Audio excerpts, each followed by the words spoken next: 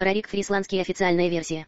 Рарик Фрисландский, Рориков Дорестад, был датским викингом, правившим частями Фризии между 841 и 873 годами, завоевав Дорестад и Утрихт в 850 году.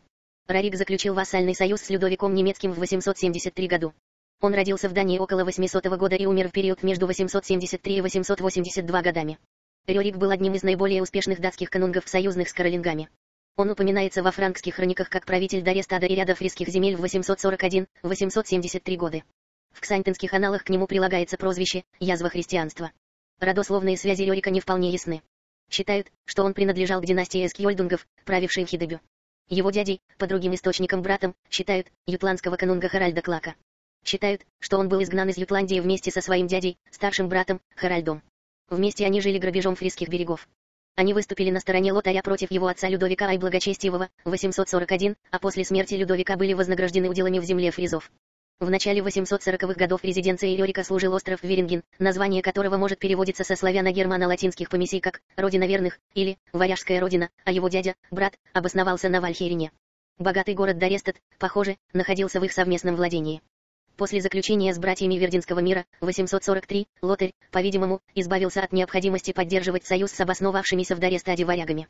В 844 году Йорик с дядей, братом, были предательски схвачены и заключены в тюрьму, где Харальд скончался, по другим сведениям он прожил до 852 года. Рерик бежал из заточения во владение Людовика Немецкого и после нескольких лет, проведенных в земле саксов, принялся опустошить пиратскими набегами северные берега Лотаревой державы. Рарик Палапский официальная версия. Ксантинские анналы, которые писались современниками событий, упоминают Рарика как князя Вендов под 845 годом, на следующий год после гибели князя Гостимусла. Ксантинские анналы сохранились в трех рукописях. Старейшая из них – Кодекс Тайберирс Секса из Каттоновской коллекции Британской библиотеки в Лондоне. Этот кодекс составлен в 15 веке в Утрехте из остатков различных, возможно уже сильно поврежденных к тому времени рукописей и содержит материалы исторического характера. На основе данных палеографии делается вывод, что дошедший до нас текст ксантинских аналов был скопирован в XI веке. В начале 18 столетия, на фоне укрепления русско-мекленбургских взаимоотношений, сложилась историческая традиция, выводящая происхождение князя Рюрика, основателя древнерусского государства, от князя Абадрита в Годлиба, Гуделаева, убитого в 808 году данными. После его смерти сыновья Годлиба, Рюрик, Сивар и Трувор, потеряли надежду получить власть и отправились в восточные земли. Первые сведения этого рода были опубликованы в 1708 году Иоганном Хюбнером, который ссылался на некий манускрипт 1418 года. Обычно эти сведения считаются малодостоверными. Рарик – русская официальная версия. Рюрик, Рурик, был канунгом правившим варягами и имевший древние династические права князя всех рутинов. Согласно летописям, он был приглашен править Русью и ее вассальными владениями в 862 году. Его происхождение связывают с варягами, викингами, но считают неустановленным. После установления своей власти в Новгороде, Рюрик расширил свои владения до смерти в 879 году. Рюрик был основателем династии Рюриковичей, которая правила Киевской Русью и ее княжествами. С Рюриком упоминают его братьев Синеуса и Трувора. Вместе они основали государство, ставшее известным как Киевская Русь. Официальная трактовка истории знает и рассказывает все эти сведения, но намеренно разделяет их на три отдельные биографии разных фантомных правителей, при том, что описывают они части единой биографии одного человека, великого князя Рюрика. Рарик Фрисландский официальная версия.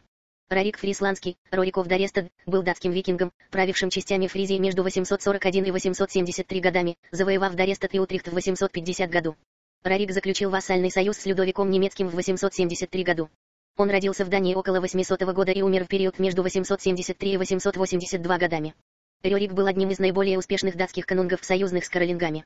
Он упоминается во франкских хрониках как правитель Дарестада и ряда фрисских земель в 841-873 годы. В ксантинских аналах к нему прилагается прозвище «язва христианства». Родословные связи Рерика не вполне ясны. Считают, что он принадлежал к династии Эскьольдунгов, правившей в Хидебю. Его дядей, по другим источникам братом, считают ютландского канунга Харальда Клака. Считают, что он был изгнан из Ютландии вместе со своим дядей, старшим братом, Харальдом. Вместе они жили грабежом фрисских берегов. Они выступили на стороне Лотаря против его отца Людовика Ай Благочестивого, 841, а после смерти Людовика были вознаграждены уделами в земле фризов. В начале 840-х годов резиденцией Рерика служил остров Веринген, название которого может переводиться со славяно-германо-латинских помесей как «Родина верных» или «Варяжская родина», а его дядя, брат, обосновался на Вальхерине. Богатый город Дорестет, похоже, находился в их совместном владении. После заключения с братьями Вердинского мира, 843, Лотарь, по-видимому, избавился от необходимости поддерживать союз с обосновавшимися в Дорестаде варягами. В 844 году Рерик с дядей, братом, были предательски схвачены и заключены в тюрьму, где Харальд скончался, по другим сведениям он прожил до 852 года. Рерик бежал из заточения во владение Людовика Немецкого и после нескольких лет, проведенных в земле сексов, принялся опустошить пиратскими набегами северные берега Лотаревой державы. Рарик Палапский официальная версия. Ксантинские анналы, которые писались современниками событий, упоминают Рарика как князя Вендов под 845 годом, на следующий год после гибели князя Гостимусла. Ксантинские анналы сохранились в трех рукописях. Старейшая из них – Кодекс Тайберирс Секса из Каттоновской коллекции Британской библиотеки в Лондоне. Этот кодекс составлен в 15 веке в Утрехте из остатков различных, возможно уже сильно поврежденных к тому времени рукописей и содержит материалы исторического характера. На основе данных палеографии делается вывод, что дошедший до нас текст ксантинских аналов был скопирован в XI веке. В начале 18 столетия, на фоне укрепления русско-мекленбургских взаимоотношений, сложилась историческая традиция, выводящая происхождение князя Рюрика, основателя древнерусского государства, от князя Абадрита Годлиба, Годелаева, убитого в 808 году данными. После его смерти сыновья Годлиба, Рюрик, Сивар и Трувор, потеряли надежду получить власть и отправились в восточные земли. Первые сведения этого рода были опубликованы в 1708 году Иоганном Хюбнером, который ссылался на некий манускрипт 1418 года. Обычно эти сведения считаются малодостоверными. Рарик – русская официальная версия. Рюрик, Рурик, был канунгом, правившим варягами и имевший древние династические права князя всех рутинов. Согласно летописям, он был приглашен править Русью и ее вассальными владениями в 862 году. Его происхождение связывают с варягами, викингами, но считают неустановленным. После установления своей власти в Новгороде, Рюрик расширил свои владения до смерти в 879 году. Рюрик был основателем династии Рюриковичей, которая правила Киевской Русью и ее княжествами. С Рюриком упоминают его братьев Синеуса и Трувора. Вместе они основали государство, ставшее известным как Киевская Русь.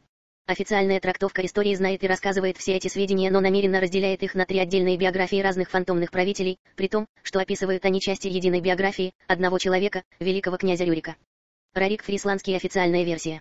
Рарик Фрисландский, Рориков Дарестад, был датским викингом, правившим частями Фризии между 841 и 873 годами, завоевав Дарестад и Утрихт в 850 году. Рарик заключил вассальный союз с Людовиком Немецким в 873 году. Он родился в Дании около 800 года и умер в период между 873 и 882 годами. Рерик был одним из наиболее успешных датских канунгов, союзных с каролингами. Он упоминается во франкских хрониках как правитель Дарестада и ряда фрисских земель в 841-873 годы. В ксантинских аналах к нему прилагается прозвище «язва христианства». Родословные связи Рерика не вполне ясны. Считают, что он принадлежал к династии Эскьольдунгов, правившей в Хидебю. Его дядей, по другим источникам братом, считают, ютландского канунга Харальда Клака. Считают, что он был изгнан из Ютландии вместе со своим дядей, старшим братом, Харальдом. Вместе они жили грабежом фрисских берегов. Они выступили на стороне Лотаря против его отца Людовика Ай Благочестивого, 841, а после смерти Людовика были вознаграждены уделами в земле фризов. В начале 840-х годов резиденцией Рерика служил остров Веринген, название которого может переводиться со славяно-германо-латинских помесей как «Родина верных» или «Варяжская родина», а его дядя, брат, обосновался на Вальхерине. Богатый город Дарестет, похоже, находился в их совместном владении. После заключения с братьями Вердинского мира, 843, Лотарь, по-видимому, избавился от необходимости поддерживать союз с обосновавшимися в Дарестаде варягами. В 844 году Йорик с дядей, братом, были предательски схвачены и заключены в тюрьму, где Харальд скончался, по другим сведениям он прожил до 852 года. Рерик бежал из заточения во владение Людовика Немецкого и после нескольких лет, проведенных в земле сексов, принялся опустошить пиратскими набегами северные берега Лотаревой державы. Рарик Палапский официальная версия. Ксантинские анналы, которые писались современниками событий, упоминают Рарика как князя Вендов под 845 годом, на следующий год после гибели князя Гостимусла. Ксантинские анналы сохранились в трех рукописях. Старейшая из них – Кодекс Тайберирс Секса из Каттоновской коллекции Британской библиотеки в Лондоне. Этот кодекс составлен в 15 веке в Утрехте из остатков различных, возможно уже сильно поврежденных к тому времени рукописей и содержит материалы исторического характера. На основе данных палеографии делается вывод, что дошедший до нас текст ксантинских аналов был скопирован в XI веке. В начале 18 столетия, на фоне укрепления русско-мекленбургских взаимоотношений, сложилась историческая традиция, выводящая происхождение князя Рюрика, основателя древнерусского государства, от князя Абадрита в Годлиба, Годелаева, убитого в 808 году данными. После его смерти сыновья Годлиба, Рюрик, Сивар и Трувор, потеряли надежду получить власть и отправились в восточные земли. Первые сведения этого рода были опубликованы в 1708 году Иоганном Хюбнером, который ссылался на некий манускрипт 1418 года.